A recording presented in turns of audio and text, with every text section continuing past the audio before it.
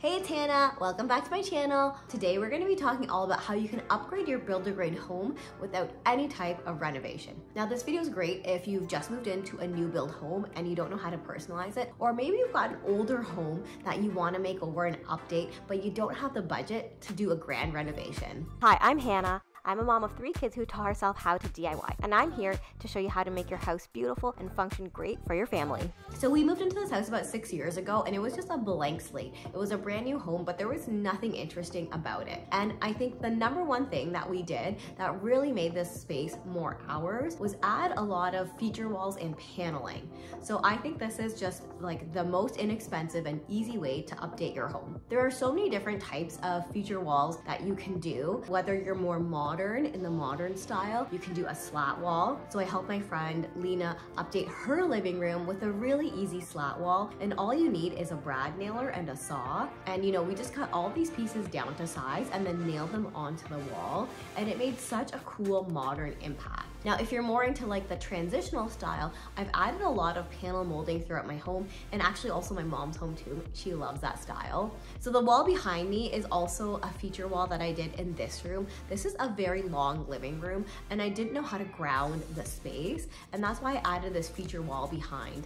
I would say the hardest part is actually planning out your wall and figuring out what type of style you want because there are so many different types of feature walls. So here behind me, I did this kind of decorative trim work, but I've also done shiplap in a bathroom. I've got a really cool geometric accent wall in my powder room. I really wanted my powder room to be something special because when you walk in, like it's just a blank space and it's such a tiny room, but every single guest that comes to my house uses that space. So I knew I wanted it to be something impactful. If you're thinking of an accent wall, slat walls are definitely a little bit easier because you just have to cut the board straight. Now with these types of um, panel molding or picture frame molding walls, you have to cut on a 45 degree angle, but I promise it's still something that you could do if you're a beginner. Doors are one of the most overlooked feature in any home. There are so many doors in any home, but you'll find that a lot of people don't think to do anything to them. They don't paint them, they don't change the handles, but I'm here to tell you I am a door lover. Okay, I have DIYed so many of my doors and they add such a strong impact. Now, especially when you have a small home, if a feature wall isn't really possible just because of the limited space, or maybe you have an open space concept and you don't wanna just have like one feature wall, DIY your doors paint your doors, change the knobs. It makes such a huge statement. I personally love painting my doors black. I've got quite a few black doors in my home and I've also changed out the hardware because black and gold looks really nice together. But in my upstairs hallway, I actually opted to paint them like this kind of soft blue-green because there's no windows in that hallway and I didn't want to paint them black because it would just be like super dark. And it's something I did when I was like seven months pregnant. So it's really easy. You don't even need to take the door off of the hinges if you're just painting them. Just leave them hanging and just paint them. Now for some of my DIY doors that were a bit more fun, I've got the tutorials for those as well, so I will link them below. But it's like a really great project that you could do. I would say it's like intermediate level. So if, you, if you're familiar with power tools a little bit, this could definitely be that kind of project that stretches your tools. One of the easiest ways that you can transform any space is using paint. Now that's so obvious, right? Painting a dark room white really brightens up and opens up the space, but think about painting other things. You can paint your floors. Now, if you have old floors and you hate them and you really want to replace them, but it's just not in the budget, and also it's like an intermediate DIY. Like it's not the easiest thing to like remove tile. Uh, we did this in my niece's bathroom, so I know how hard it is. We had to get like a jackhammer. So what you can do instead is just paint them. It's so easy and inexpensive to paint your floors. Now it might not be something that's gonna last you 10 years, but it's gonna be a good intermediate solution if you're just saving up to before you can actually replace your floors.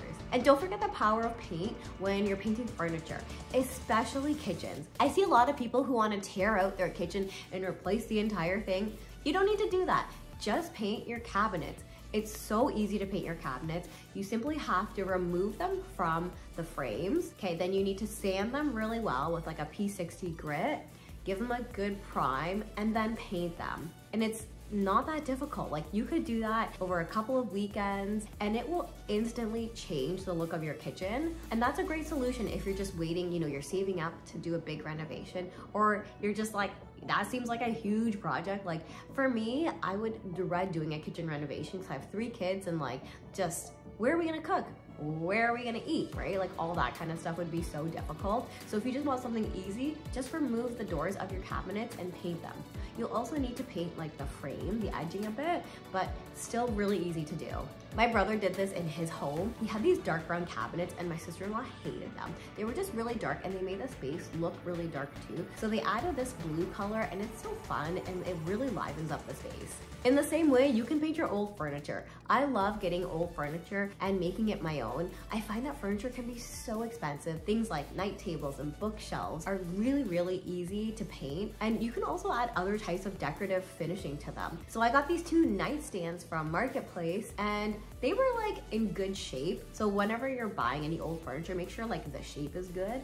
They were in good shape. I liked the actual style of them, but I painted them black and I added this doweling feature to the front of them. And I think that really modernizes them and makes them look really cool. Did you know that you don't need to rip down tiles like a backsplash or a fireplace or even floors? You can also use peel and stick tiles. I have used peel and stick tiles a few times.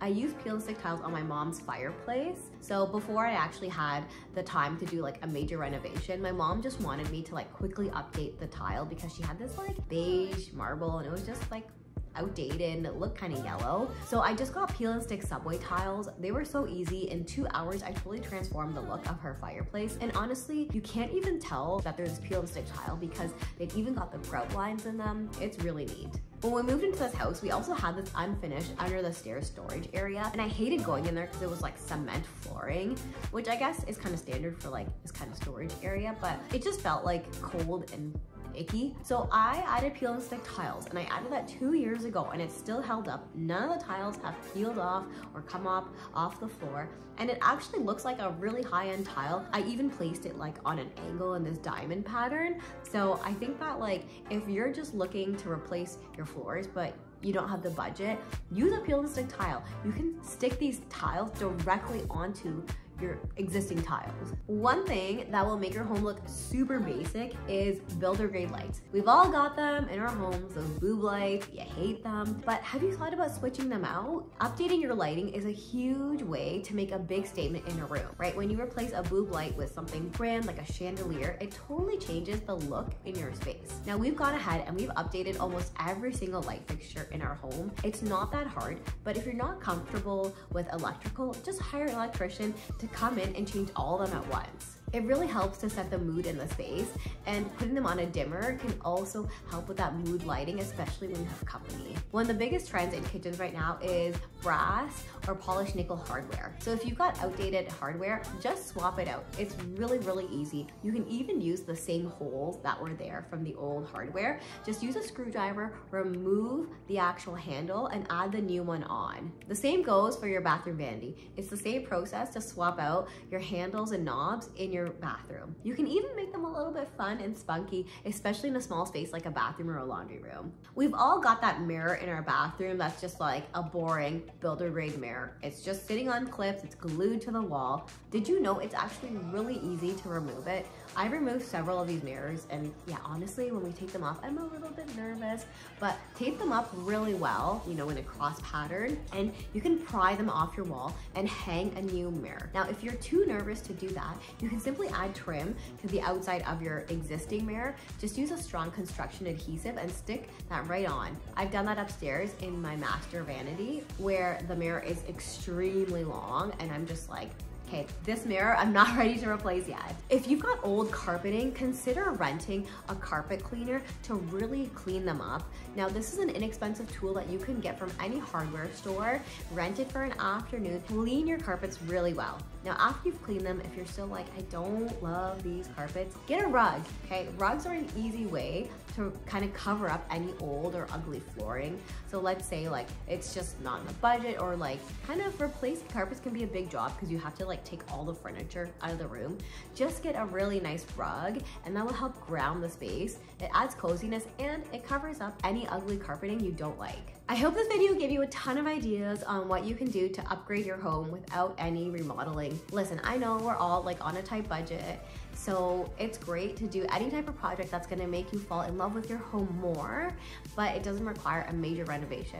Plus, not to mention like how messy and dirty your house becomes when you do a major renovation, right? So if you love this video, make sure you give my channel a subscribe. Let me know what you thought of these ideas. Have you done any of them? Maybe you'll try them now. And I'll see you next time. We'll do more budget DIYs.